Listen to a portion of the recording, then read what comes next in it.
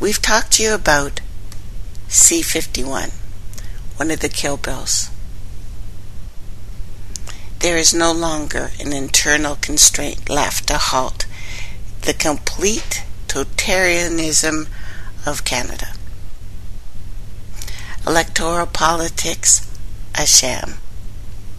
Media subservient to corporate power. The working class is being disempowered and impoverished. The legal system, subsidiary of the corporate state. There are no good rules here. So any form of dissent, no matter how tepid, will soon be blocked by an internal security apparatus empowered by the anti-terrorist laws that will outstrip anything dreamed of by the East German Stasi state. No one in Ottawa or Washington intends to help us. Opposing parties, such as Democratic Party, may cry foul when out of power, but once in power, they bow to the demands of this omnipotent military. That's why the gods, goddesses, are always military leaders. And if you go back to what we did on Tuesday, I show you how they are always slavers and use us as commodities. They are security organs that serve the corporate masters. So any state that has the ability to inflict full spectrum dominance on its citizens is not a free state. You do not live in a free state unless, of course, you are the Vikings who escaped what was happening in Europe, went to a little island on their own. So it does not matter if it does not use this capacity in front of your face at this moment today. It will use it. History has shown this. Should it feel threatened or seek greater control, and the goal of the wholesale surveillance is not in the end to discover crimes, but to be on hand when the government decides to arrest a certain category of the population. No one who lives under constant surveillance, who is subject to detention anywhere at any time, whose conversations and messages and meetings and proclivities and habits are recorded, stored, analyzed as ours are, can be described as free. The relationship between those who are constantly watched and tracked and those who watch and track them is the relationship between master and slave. We fight the same things as our ancestors fought. There will be no checks left on state power. State security operates outside of the law. Citizens will be convicted on secret evidence in secret courts citizens will be subject to arbitrary searches and arrests. Due process? That's over. It is. It's over. Internal security organs serve as judge, jury, executioner, like the one God system has always done. The outward forms of democratic participation, voting, um, competing political parties, judicial oversight, legislation, are going nowhere. They will remain. But they have become a meaningless form of political theater. It is entertainment. That is all. And once the security services become this omnipotent being those who challenge the abuses of power, those who expose crimes carried out by the government, are treated as criminals. Totalitarian states always invert the moral order. The evil rule, the righteous are condemned. societies in some places had democratic traditions, or these periods when openness was possible on a brief level. They are often seduced into these kind of systems because their rules continue to pay outward fealty to ideas, ideals, practices, forms of these old systems that I've been telling you about. This was true when Emperor Augustus dismantled the Roman Republic.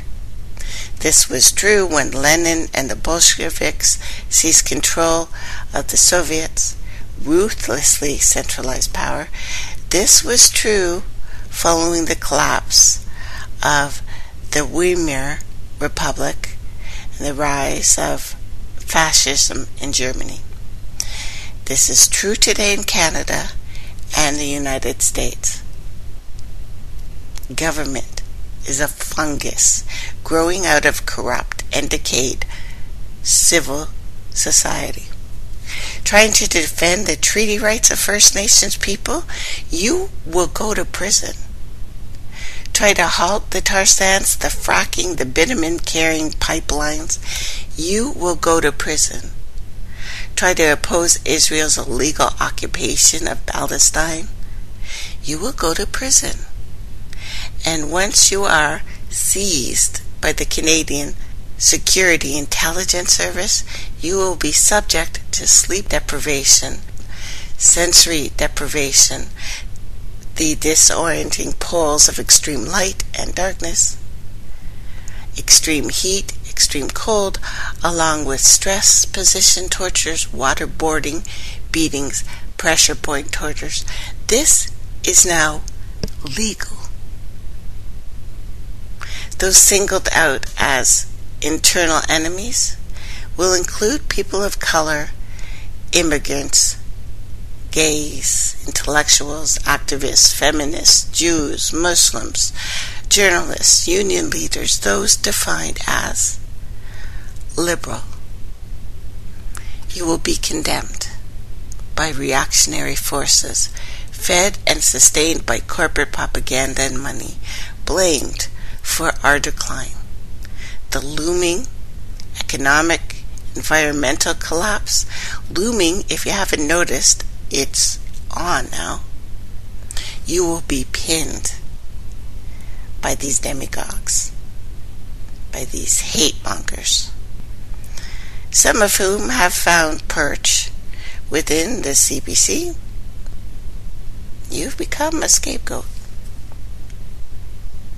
The vulnerable are the scapegoats. Ones fleeing wars for their resources are looked at as the bad guys. The random acts of violence, such as attack on a lone gunman on Parliament Hill, will be justified. Even harsher measures of internal control will happen. And if it doesn't happen fast enough, you will see more false flags. Fear will be relentlessly orchestrated to manufacture paralysis and your consent.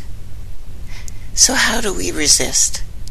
How, if this thing is inevitable, as I believe it is, how do we fight back? Why should we resist? Why not give in to cynicism and despair? Why not carve out a comfortable niche, at least one as comfortable as possible, within the embrace of the corporate state and spend our lives attempting to satiate our private needs. Power elite, including most of those who graduate from our top universities, academics, politicians, the press, and our liberal and intellectual classes, the stars that you see on television, have sold out for personal comfort. So why not us? Too many of us are separated from each other that the lives we are living are meaningless and we cannot influence fate. We will all die. Our individual beings will be obliterated. And yet, one of the only coherent philosophical positions is revolt. It is the constant confrontation between human beings and our obscurity. It is not an aspiration, for it is devoid of hope. That revolt is a certainty of a crushing fate without resignation that ought to accompany it. A living person can be enslaved and reduced to the historic condition of an object.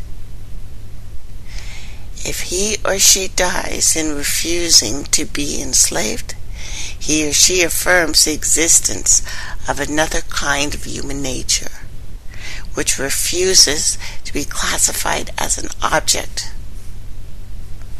The rebel stands with the opposed, the unemployed, the underemployed, the workers, the peoples of the First Nations, whose lands and lives are being exploited, Palestinians in Gaza, civilians in Iraq and Iran, in Afghanistan, in Libya, the disappeared who are held in our global block sites, the poor in our inner cities, the depressed, rural communities, the immigrants, those locked away in our prison system, making money for this beast.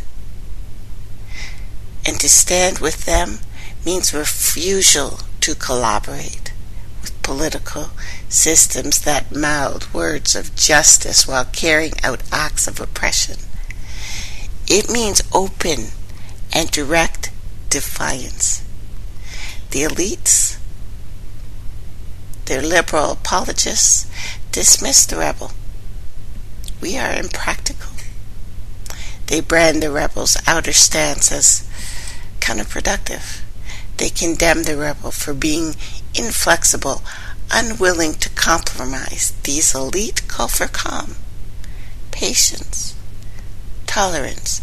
They use language of spirituality, compromise, tolerance, generosity, compassion to argue that the only alternative is to accept and to work with systems of this despotic power.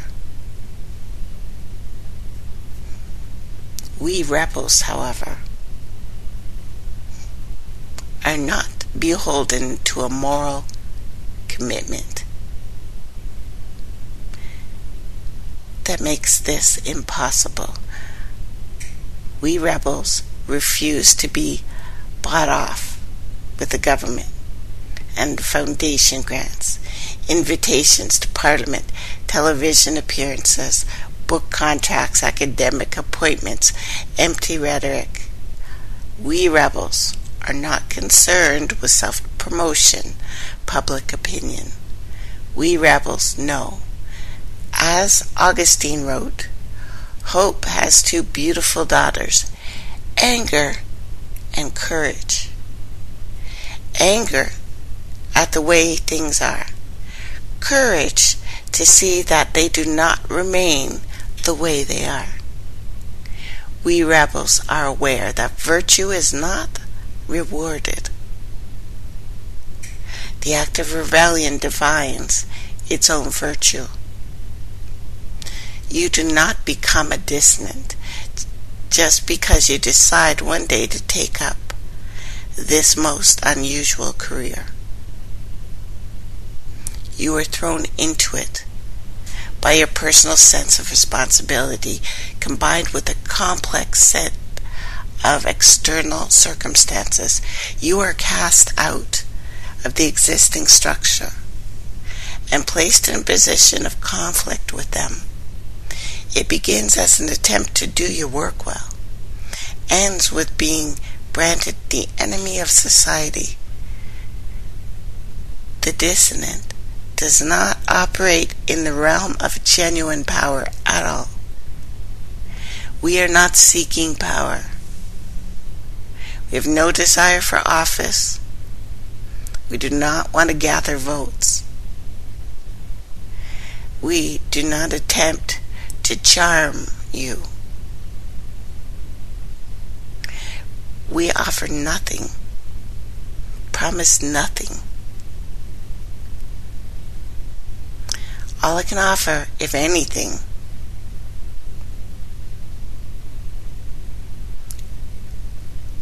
all we can offer is his or her own skin. The dissonant offers it solely because the dissonant has no other way of affirming the truth, which we stand for. Our actions simply articulate his or her dignity as a human being, regardless of the cost. We have the capacity to say no, to refuse to cooperate. Any boycott or demonstration, any occupation or sit in, any strike, any act of obstruction or sabotage, any refusal to pay taxes, any fast, any popular movement, and an act of civil disobedience ignites the soul of the rebel, exposes the dead hand the hidden hand of authority. It is only this refusal to cooperate that will save us. What we speak of, what I speak of now, what we have spoke of in the last, well, forever. There was a time when that alone was enough to get you jailed. There is a time when the operation of the machines becomes so odious, makes you so sick at heart that you can't take part. You can't even passively take part. And you've got to put your bodies upon the gears and upon the wheels and upon the levers and upon all the apparatus. And you've got to make it stop.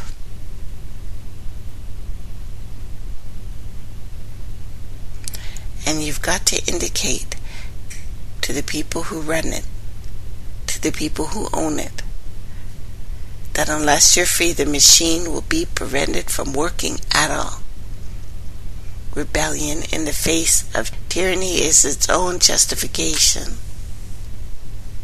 Rebellion allows us to be free and independent human beings. Rebellion chips away, however, imperceptibly, I guess, at the edifice of the oppressor, sustains the fires of empathy, solidarity, hope, and finally, believe it or not, love. And in moments of profound human despair, these flames, no matter how dim, are monumental. They keep alive the capacity to be human and we must become so absolutely free that existence is an act of rebellion. Once we obtain that freedom, we will discover the rebellion is not defined by what it achieves, but by who we become. Those who do not rebel in our age of totalitarianism. Total, full spectrum dominance. Capitalism.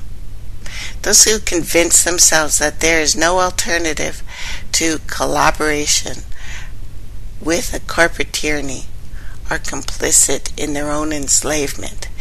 They commit spiritual and moral suicide. They extinguish hope they become the living dead.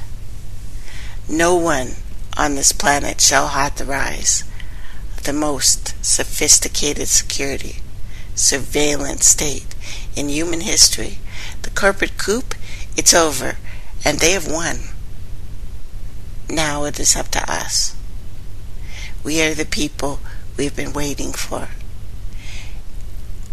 I don't know if we can build a better society this planet. I don't know if it's too late. I don't even know if we will survive as a species. But I know these corporate forces have us by the throat right now. They have our children by the throat right now. I don't fight fascists because I will win. I fight them because they are fascists.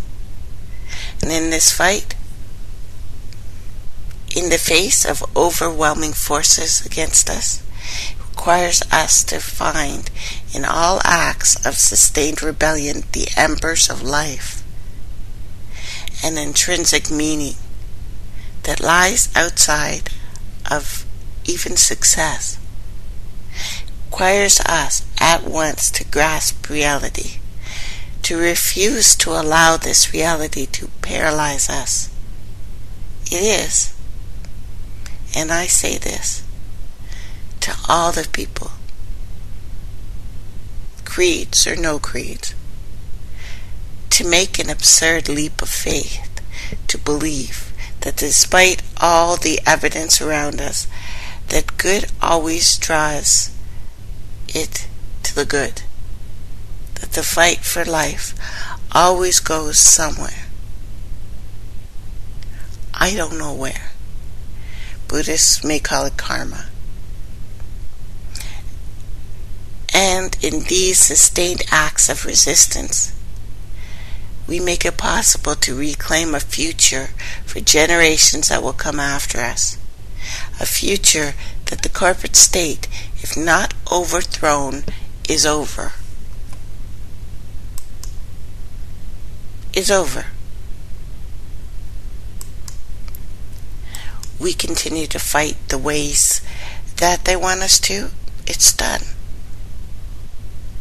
You know, after years of non-stop researching, along with experience, of course, and a lifetime of involvement, my mind and body and soul is riddled with symbols, names, stories from our planet and distant planets, extraterrestrial images, unsacred geometry, crystal diagrams, holy languages, strange inscriptions, and everything else that is related to deeply and persistently discovering what the hell is going on in this reality.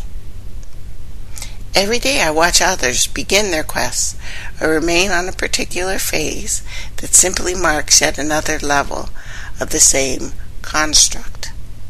The whole purpose of what I do and the mission we've been given was to shorten this lengthy, exhausting, sometimes unrewarding process. And there have been many casualties on the way. As some has grasped a little of the truth and been completely blown away, to the degree that their former state may have been better than the latter. Some have sacrificed relationships, reputation, lifestyle, many more things of great importance just to be here, just to keep going. And those of us who are sincere are determined to make sure that it was not all in vain. What has been discovered is we, as a species, fast and great, have faced many stumbling blocks.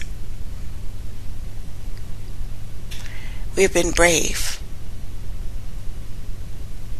which accompanies at times foolishness, in opening up chasms that were stamped with fair warning. We have welcomed other beings into our deep sanctum or Holy of Holies, with hopes that what they would gain from their interaction with us would increase them from their current state and thus make our entire reality a better place. Unfortunately, in many cases, that is not what happened. And now, what was the most sacred has been profaned. And I speak not of physical churches or places of worship, but your own precious temple. I want you to remember a certain part in many of the childhood stories we are told. It was about special power that should never fall into the hands of evil as we know it. In the event that this would ever take place, it would mean disaster at catastrophic proportions until it was undone. I'm here to tell you, brothers and sisters, mothers and fathers, and respected elders, that this has in fact happened, and that the most powerful weapon you have is you. We have welcomed foreign beings into our lands, and they have betrayed us. But they have taught us a most valuable lesson that shouldn't be repeated anymore.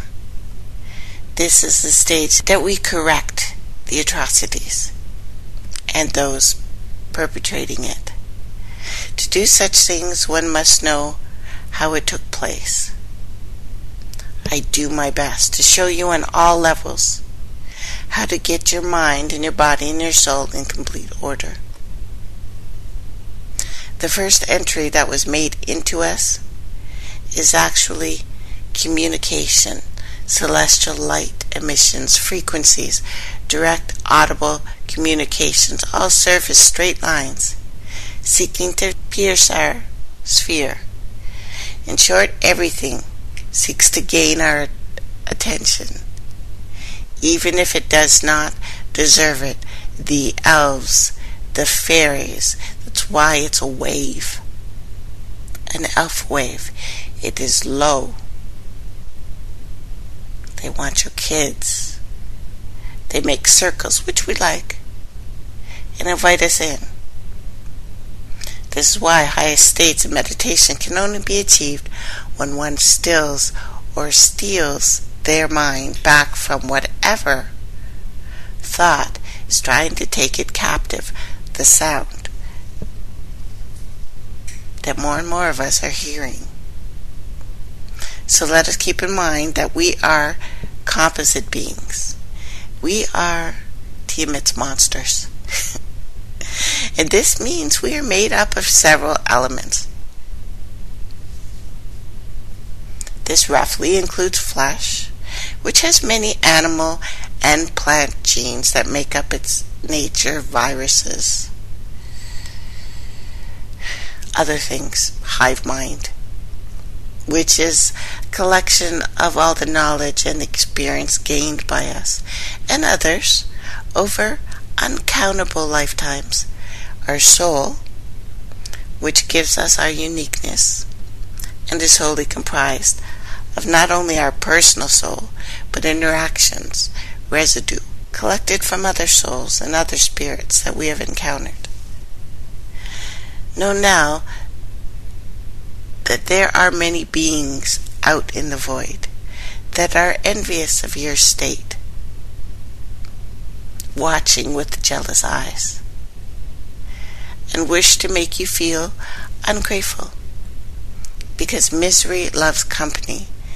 Misery is contagious, and despair is infectious. And in several instances, these beings forfeited the chance you have been given right now by constantly making bad decisions as if they would have no effect. You've seen those types before. So imagine if every receptor is constantly being filled with something poking at us disturbingly so much that we have grown to accept it and just live with this. I call this the spear ritual. And I speak on all levels here. Imagine that these intrusions long ago removed us from a certain state. that we find the greatest difficulty in recalling because we were so young. This, in fact, has happened. To lend a little bit more credit to this, I refer to I will refer to this as magic. It is known that the whole art of voodoo doll is to mimic what these deluded dark sorcerers do in an attempt to steal someone's spirit. They poke you with knives and forks and needles, other stuff. This is why the devil is seen with a pitchfork. We are encouraged to use it for our food, put that in our mouths. It is known that the allegory given in the Bible about piercing the side of, side of Jesus is an act of the spear ritual itself. Remember, you are the Christ. Christ is the Kundalini. I pictures. what is basically known about this art is when a person is in a weak stage of fleshly life, holes can be poked to remove your soul from your body, allowing a portion of your spirit to travel into the object that they are being poked with. Now comes the conclusion of the mystery of the spear of Longinus, which was used to poke the side of the Merovingian king while on the cross. Thus, Hitler sought to sequester the sphere in order to gain the power of the Merovingian kings. So his faction could be the new rulers of the world, which still worships the same images as they were encouraged not to by the same book that brings forth those images. Yes, they are worshipping under an image of a sword, which is an upside down cross. Martians, they are. Wolves in sheep clothing coming from Mars, the wolf planet, Lobo, red as blood, warlike as the Romans concur. Their founders were Romulus and Remus, suckled by a she wolf.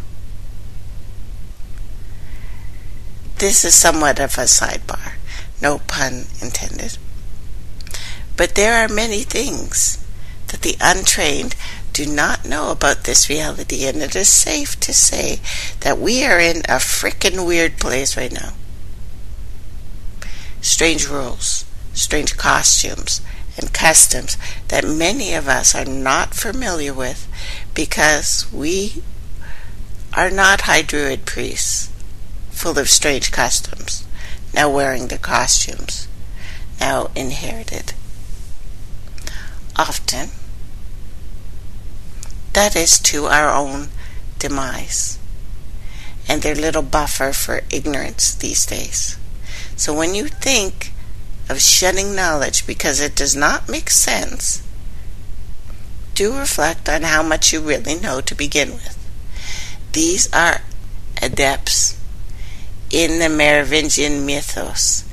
They know Saturn was the old king of the Merovingian bloodline, and those in possession of the Stone of Destiny, or at least the essence of it, have the right to rule under the covenant that was made long ago when the earth was conned, like Genghis, out of the treasures by beings that used cunning.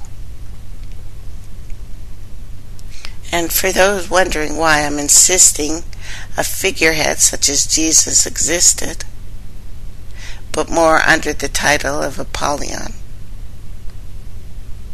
know that his family line are those who lie and war amongst themselves for position, often taking others' names and the names of other beings that they have conquered. Again, I have pictures. Matters not to them if you understand this or not. You are not even supposed to know about it.